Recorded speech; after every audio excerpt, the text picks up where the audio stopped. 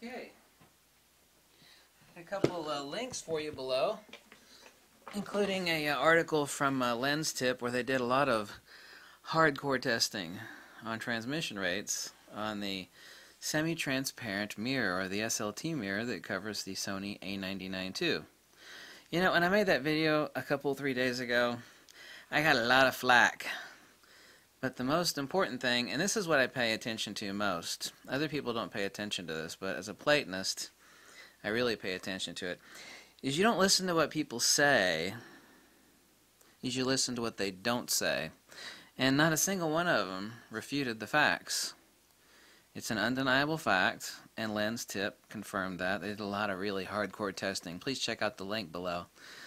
When you remove that mirror, you have 30% more light striking the sensor. Most importantly, and I didn't even know this, at the blue end spectrum range of, uh, of light hitting the sensor, less than 60% is making its way there. So almost half of the blue end light uh, from was it less than 640 nanometers?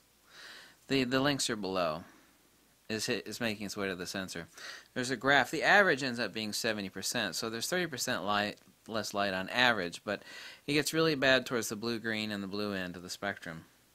Um, I don't know what anybody's, you know, what what's the issue? I mean, if I liked Sony 100%, and I don't, I mean, that's no bloody mystery, right? If I like them 100%, how in God's name would the damn facts be any different? They wouldn't be any different. Now here's a direct quote from Sony Alpha. Now these are the you know these are the hardcore Sony people, right? I got the link below. It's from September something, 2000 whatever. I've got the quote below. They said the SLT mirror, the semi-transparent mirror, blocks out a little over 5% of the light. I mean, not not the light, excuse me, 5% of the detail, excuse me. They didn't say light because it's 30% of the light. See, the important part is is the details that are lost. 5% of those details that are lost are over 90% of the micro contrast that any lens is dropping to the sensor. Now, I used to have a Rode blimp. I don't know if you know what a blimp is. It looks like a blimp, and it's really hairy. It kind of looks like a cat, like a rounded cat. And you stick a shotgun microphone in that. You stick it on the end of a boom pole for outdoor uh, high-end, you know, movie-level recording. I sold off the blimp since I didn't really use it anymore. Um, you know that cuts down on wind noise, right? You don't hear that in your microphone. Same thing as a pop shield.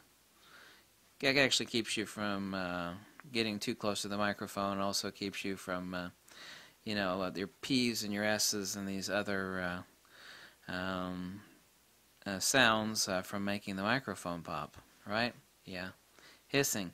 You know, all that noise. Not the pops, like in a pop filter, but like this little filter that's on the Sony microphone. It's a Sony microphone, by the way. You know, what do you think it's dropping out? What do you think that uh, that blimp? You know what a blimp looks like, right? Looks like a big furry cat. Drops out all the stuff that you don't want to hear. Well, photography is just the inverse of audio. Now, you know, you can obviously pass it through. Uh, I'm really good at Adobe Audition, which is sound editing software. Pretty good at it anyway. You can actually find that noise and cancel it out. Um, you, you have just the opposite issue with photography. All of that low gain uh, light information is what is being blocked by people. So, while Sony Alpha Rumors is correct in saying 5% of the detail is lost, within that 5% of the detail is 90% of the micro contrast. If I were to place this windshield on this microphone right here, uh -huh, and if I started lowering my voice or lowering the gain on the preamp to the point where, let's just take the microphone uh, and take this off first. If I lowered it to the point where I'm whispering into this microphone, and you could barely hear me in this microphone as I'm whispering into it, and then I take this and stick that right on there, and I continue to whisper, what do you think is going to happen? My whisper is going to become inaudible unless I boost the hell out of it, right? It's going to be doesn't matter if, if if it wasn't captured to begin with you could boost the hell out of it all you want. If it's missing it's missing it's missing. So 5% of the detail is where 95% of the low gain micro contrast intertonals are. So it's both correct and incorrect at the same time. So Sony Alpha is correct on stating that fact that semi-transparent uh, transparent mirror, if you remove it, it's an undeniable fact that 30% or more, more of the light is hitting the sensor. What the hell do you think's going to happen when you stick a mirror in front of the sensor? What the hell do you think's going to happen if I'm whispering into this microphone and then I stick this little sucker on top of it? What the hell? What the hell?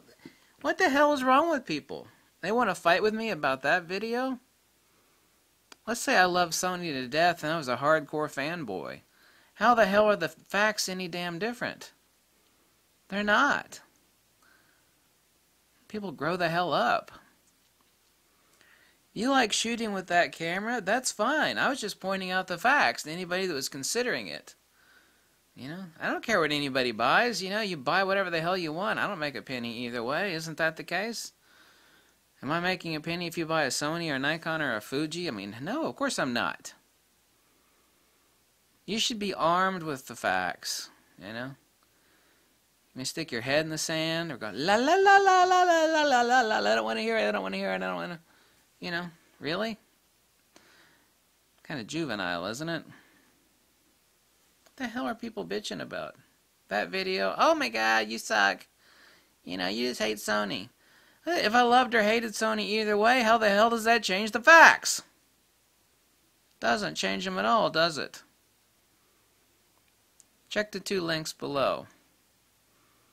One of them is a really great article from uh, Lenstip. Lens Tips from a few years ago. The semi-transparent mirror hasn't changed since it's been around for quite a few years now quality of production manufacturer has probably improved some, but its transmissive uh, ability hasn't changed. There's a uh, Yannick actually sent me a link to another guy who was actually showing the uh, heavily cropped in pixel peeping, and uh, you could tell that a significant amount of the detail had been lost at 100% blow up. So, you know, just be armed with the facts. You know, for Christ's sakes, what's wrong with people? Thanks. Bye. Ba-dum, ba-dum, ba. Ba-dum, ba-dum, ba-dum.